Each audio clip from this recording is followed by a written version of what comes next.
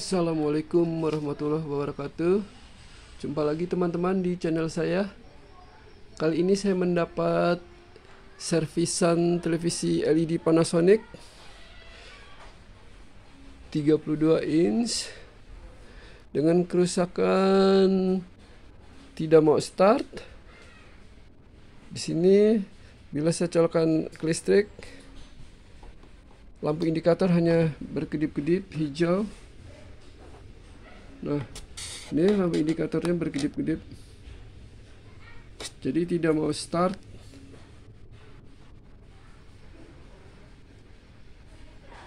Oke, teman-teman. Akan saya eksekusi.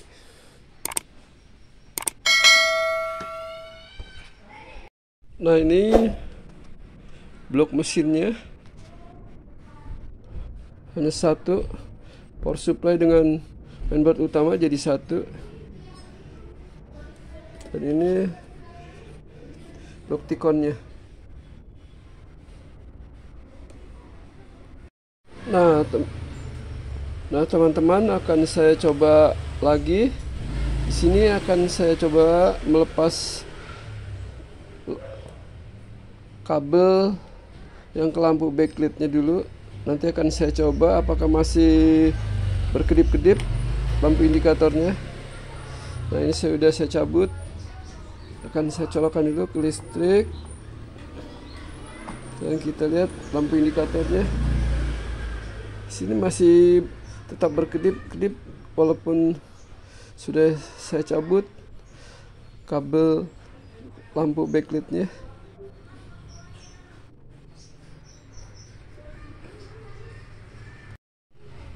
Nah, teman-teman, selanjutnya akan saya pasang lagi tadi lampu backlightnya. Kemudian saya akan coba mencabut kabel yang menuju tikonnya. Akan saya lepas dulu. Nah, sekarang akan saya coba apa lampu indikatornya masih berkedip-kedip.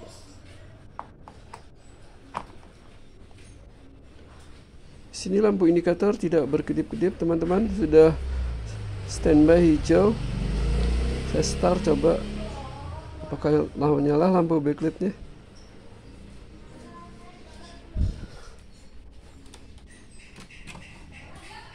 Ternyata lampu backlightnya menyala teman-teman. Nah kelihatan tuh dari di lubang-lubangnya. Lampu backlightnya menyala. Jadi kemungkinan di sini ada konslet atau short di blok tikonnya. Soalnya setelah saya lepas kabel yang menuju tikon langsung menyala lampu indikatornya dan backlightnya pun ikut menyala. Oke lanjut. Akan saya periksa kerusakan di tikonnya. Pada yang short lanjut. Nah setelah saya melakukan pengukuran tadi di sini ada kapasitor yang short. Di antara ini di antara empat ini diukur ada, ada yang short. Nanti akan saya coba lepas yang mana yang short. Nah teman-teman tadi kapasitor yang short yang di sini tadi ada empat buah. Sudah saya lepas semuanya. Tadi ada salah satu yang short kapasitornya. Ini hanya ada dua tadi yang dua lagi. Mental belum ketemu saya cari. Mungkin kayaknya yang mental itu yang short yang dua ini saya ukur tidak short. Tapi kayaknya yang mental tadi belum ketemu saya cari itu kayaknya itu yang short. Ini sudah saya lepas keempatnya. Nah sekarang akan saya coba. Oke teman-teman sekarang akan saya coba. Apakah berhasil hidup atau tidak? Sekarang akan saya colokkan dulu ke listrik. Nah, di sini lampu indikator sudah tidak berkedip. Sekarang kita lihat tampilan layarnya apakah sudah tampil. Alhamdulillah teman-teman sudah tampil layarnya.